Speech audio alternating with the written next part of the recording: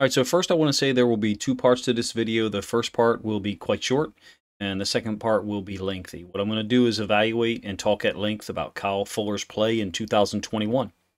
Uh, I'm not necessarily going to focus on stats and performance from 2017 to 2019. I know that may that may not be the player uh, that we're actually getting, but I think that all really depends on on what he's asked to do. Um, I'm not incredibly familiar with the Broncos' defensive schemes from last year. I know, you know, a lot of people, a lot of people have some great things to say about Vic Fangio. Um, I am aware that they were top top five or actually top three in the league in points allowed per game, maybe even number two behind the Bills. I know we went in there in week four and beat them 23 to 7, and I thought their defense played well, but I thought they had a couple of cuff, uh, coverage situations that were not coordinated well. So, what I did for this film study was grab a few plays of Fuller, who is now 30 years old, uh, playing in the slot for the Broncos against the Eagles. Playing as a nickel defensive back, basically. get four of those plays. And then we'll focus on his game against the Ravens from week four. Now, he's typically, if you look at this screen here, you he's typically been a left corner um, in his last three years with the Bears, or at least according to to this statistical you know breakdown that I have here. And then last year played some slot corner and then played some left side corner for the Broncos defense when they had some injuries. You can see that the, the high accolades from 2017 to 19. The stats show a really active football player against the pass, someone who had 12 interceptions over that uh, 48 game stretch, I believe. He's just not matched that production uh, last year with the Broncos, um, and even the year before with the Bears, 2020. His snap count decreased significantly last year. Typically, with the Bears, you see it was above 95% of the team's defensive snaps. And then in 2021, he was only on the field for 71% of the Broncos' defensive snaps. I think it was like 720 plays total. I think the salary that he was given by the Ravens is important because although I do think he's a useful piece, he's very smart, willing to tackle. He's still got some burst, if you ask me and he's seen a lot of football plays. So he'll fit in with our veteran secondary and be able to communicate things and adjust on the fly. I would not want to allot uh, so much money to him that we can't pursue other guys at either wide receiver or outside linebacker. Personally, I believe we're set at outside linebacker for two or three more years with Ojabo, Bowser, and, and also um, Oweh. And we don't need to address that position. But even still, it wouldn't be a bad idea to get a guy like Justin Houston with the injury issues we have at outside linebacker and all three guys. And I hope that we didn't dedicate too much money toward Fuller. I suspect that we did not, simply because his salary has not been announced.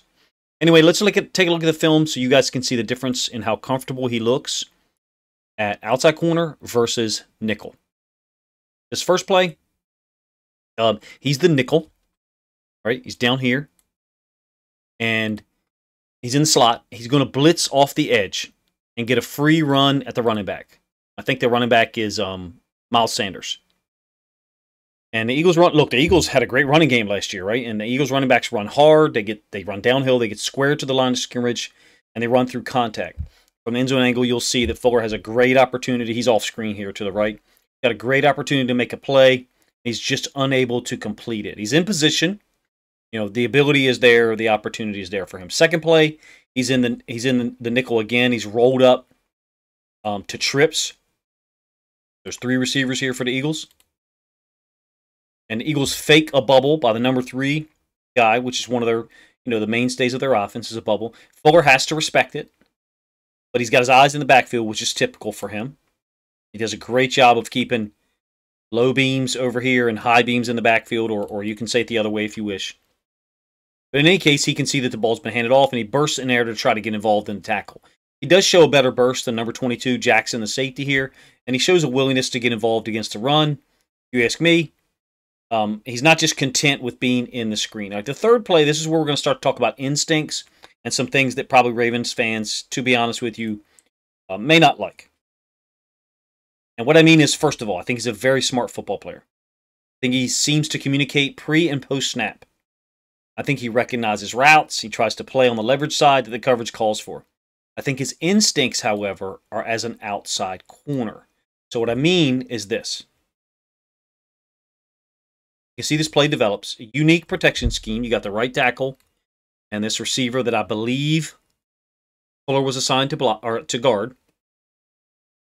Uh, they're protecting, and Hurts gets too much time, too much space. Fuller could definitely attack here, but what's his instinct? He's 30 years old. What's he done in the NFL pretty much his whole career? He's covered people. Why isn't he why isn't he attacking? Why isn't he moving toward Hurts to put some pressure on him? Because he's worried that this guy right here, who he's assigned to block, is going to slip out late and he's going to attack the quarterback and then he's going to leave a wide open receiver. That's what his, that's what his instincts tell him to do. That's what his instincts are as a football player in 2022. We'll get the um, all 22 angle here in a moment. There's Fuller at the top. Look, he could definitely attack. You know, like I said, this is going to show you how much time Hurts has, how creative the play is, how isolated uh, I think it's Patrick Surtain is up there with DeVonta Smith. Now, the one thing I don't like, and this is not from a Fuller standpoint, it's from a scheme standpoint. Hope we don't do this with him. This is the type of stuff that Wink Martindale would do. Put a DB up near to the line of scrimmage, and then the guy who's supposed to guard would just pass pro. We would leave DBs, corners, or safeties one on one. You know, this is a nice design on the play by the Eagles, if you ask me. All right, this one's going to alarm you even more because this is about Fuller. Is the worst play that I've seen him be involved in. He's in the slot. Broncos are playing cover zero down here in the red zone. Fuller is assigned to guard the point man, which is DeVonta Smith. Smith beats him easily over the middle. And my concern with this is that Fuller does not appear as smooth or instinctive in the slot at all. This play kind of shows me that that his instincts are just these last two plays show, if you ask me, his instincts are just not to be in the slot. I think he's better as an outside corner. Do I think that this play is indicative of what we're going to get from Kyle Fuller right now? No. I'm openly telling you up front, this is the worst play that I've seen from him. I think he can play, and I intend to show you that. I am concerned that he either looks slow here or that he already recognizes he's beat and he's not running at 100% speed. Now, is he going to make up that deficit down here in the red zone to DeVonta Smith? No, he's not. But we like to see players giving high effort in Baltimore. I'm not saying there is low effort there. I'm saying I did not see evidence of incredibly high effort. All right, let's look at where he is solid, playing on the left side of the defense, and we're and this all this film here throughout, here to the end, is going to be of him playing in Week Four, left side corner, against the Ravens. So we all saw this game, being as we're Ravens fans. I would say he's pretty solid in zone. He's very aware, has the speed, agility to play multiple coverages. I like him more in off coverage, like you see here. He played, I think he played 100% of the defensive snaps that day and displayed his skills well. He didn't make any plays on the ball, though.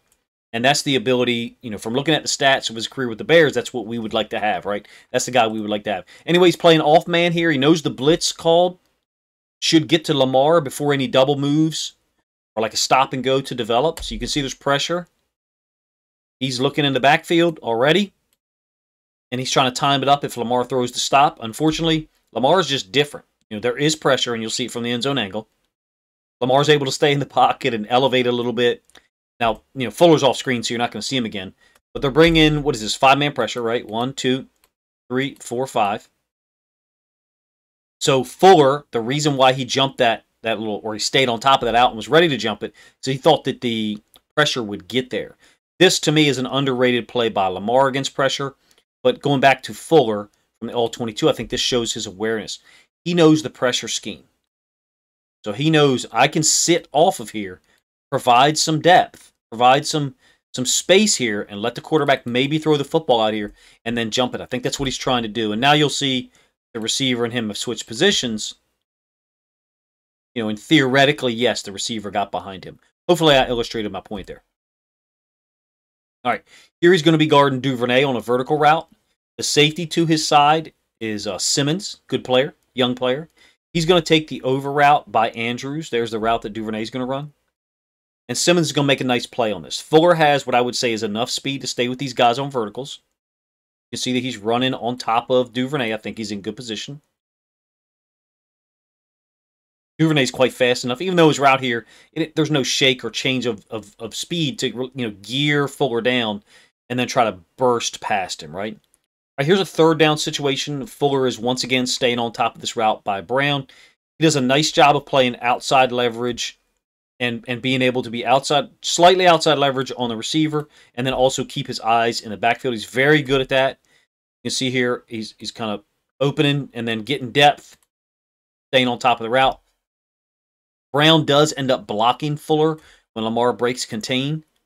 If you recall, there was a lot of pressure on Lamar this game. And look, Fuller was not super physical here with this block by Brown. If you're going to be picky, you're going to say, like, hey, man, we want you to dominate this guy, you know, in, in this situation right now. And he seemed content to just, you know, let Lamar get tackled by someone else. Later on, Fuller's going to be real physical with Brown and basically slam him to the ground on a tackle.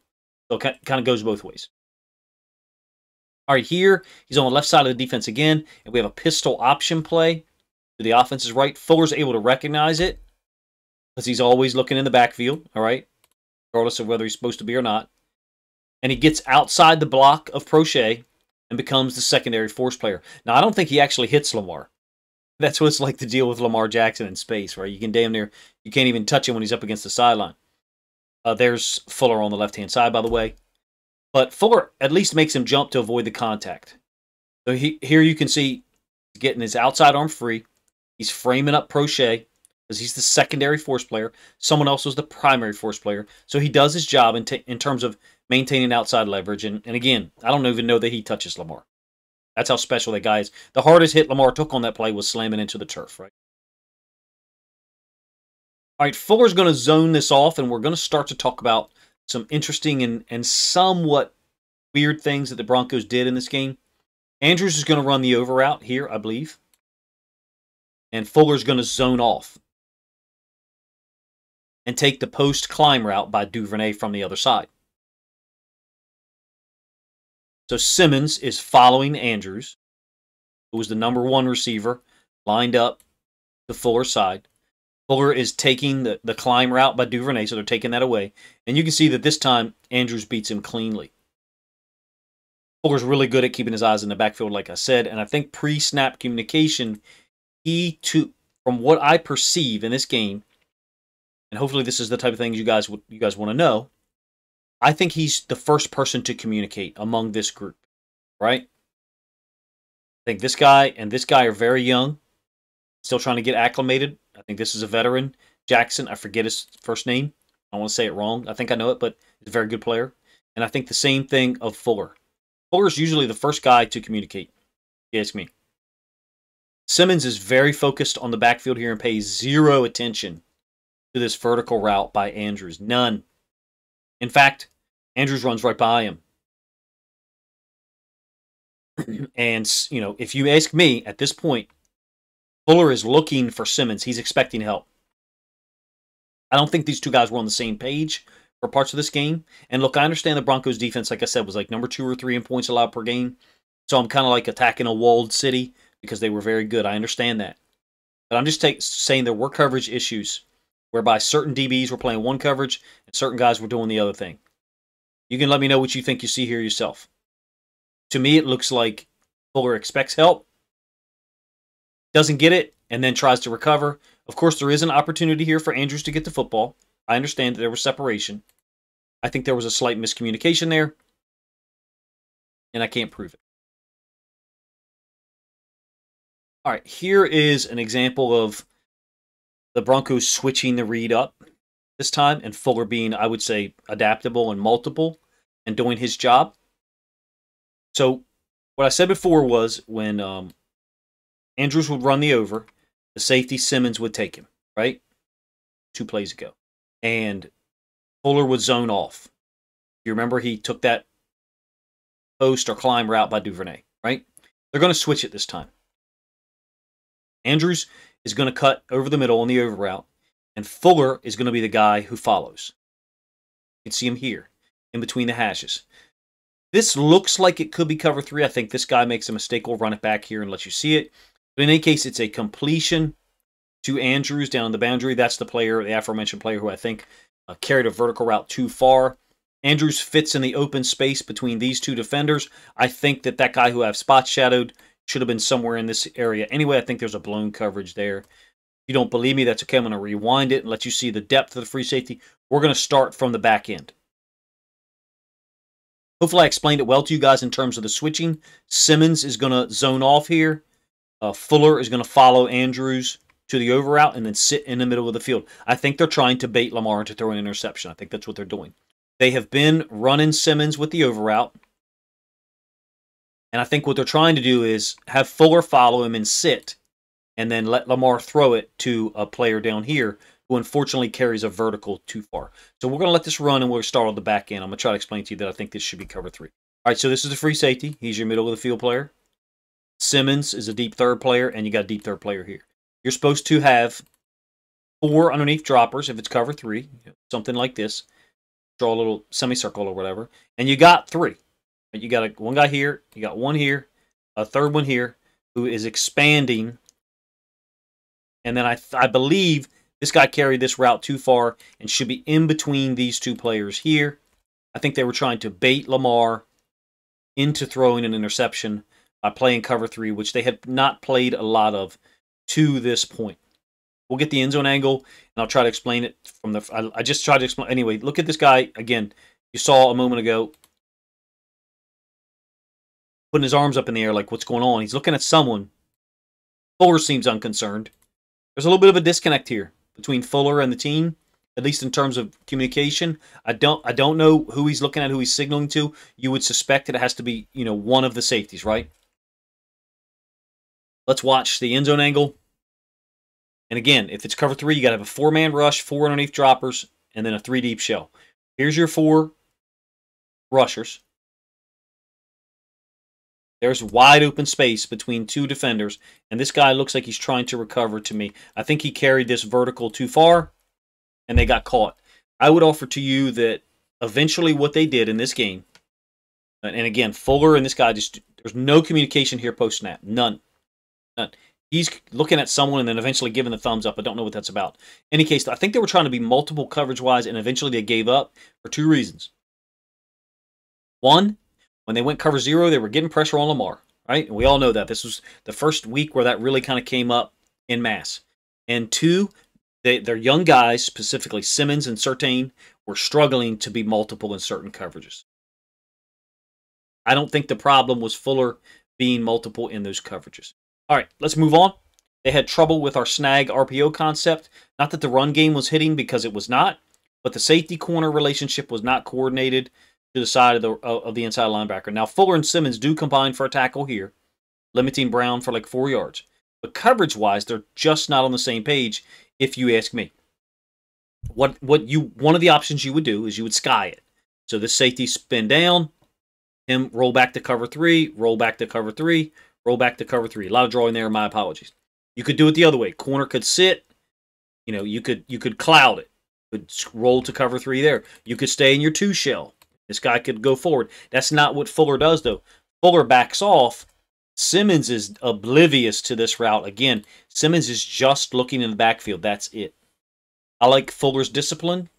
I like that he stays on the outside here. I think this snag route is was possibly something that could have been. Actually, we did hit the snag route twice in this game. Once to Watkins and once, I believe, to Proche. I don't think I showed that play in this video.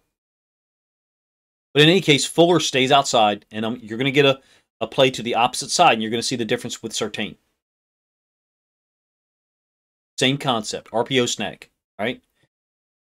Same routes. Brown in motion, Watkins running the snag concept. Fuller's down here. I'm not trying to run down Patrick Surtain. We did attack him in this game. I think Surtain, yes, he won the job over Fuller in the 2021 season, like before the season began. Got it. Fine. Understood. What I'm trying to do is say to you, I suspect that some of the poor ratings that Fuller had in terms of coverage in 2021 was due to some issues that I'm trying to illustrate here. Now, he is the first guy to communicate here. No one else has communicated anything about this motion. Simmons has now caught on and tried to communicate something. Not much effort at communication going here with this defense, with these DBs, if you ask me. Surtain does not stay on the outside nearly as much as Fuller did. Now he's got the sideline as a defender, and it's only like a six yard gain. Surtain, the OLB, and the and the safety, which again I think is Jackson, they combine to tackle Marquise Brown for a six yard gain. So so I get it. But the RPO is being used as a substitute here for the run game because we weren't getting the run game going that that, that much, if you ask me. I offer to you that um, if, uh, by the way, I don't think this is very well coordinated. They're forcing a, a keep read. Uh, excuse me.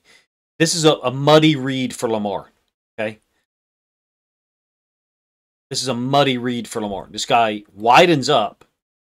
So him widening could be a give read.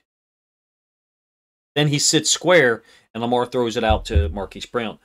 To me, that could have very well been a give read if it's a give read, I don't know. I don't know why Surtain is going with the snag. The ball's not going to be given. The ball's not going to be kept anyway.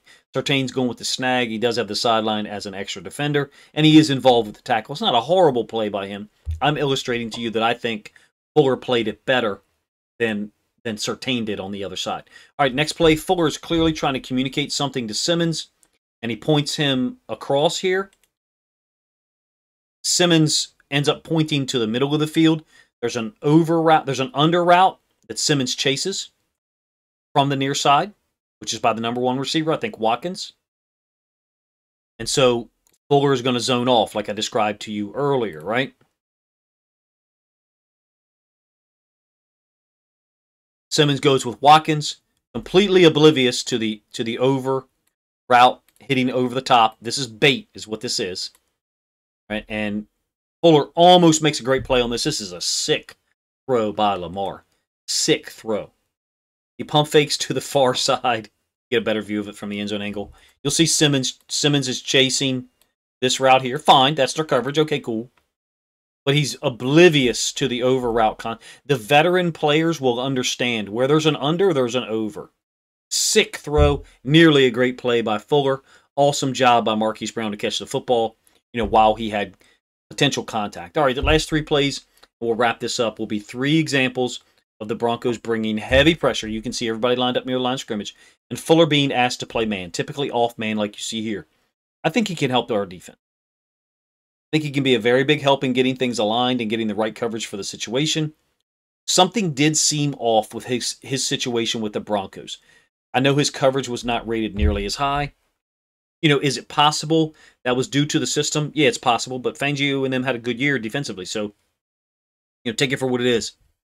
Is it possible there's reduced athleticism with Fuller? And he just can't be that guy that he was from 2017, 2019 anymore? Sure, it's possible. What I suspect and what I think we're going to get is something in between. I think we're going to get something in between out of Kyle Fuller. I think I think we're going to get a good player, a veteran player who's smart.